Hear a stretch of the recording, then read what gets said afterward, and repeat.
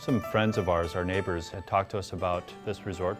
We were looking for something that was really family friendly and this has become our tradition, our cabin, so to speak. A lot of families come back year after year because they've met other families from Oklahoma or someplace and they meet here at the same time.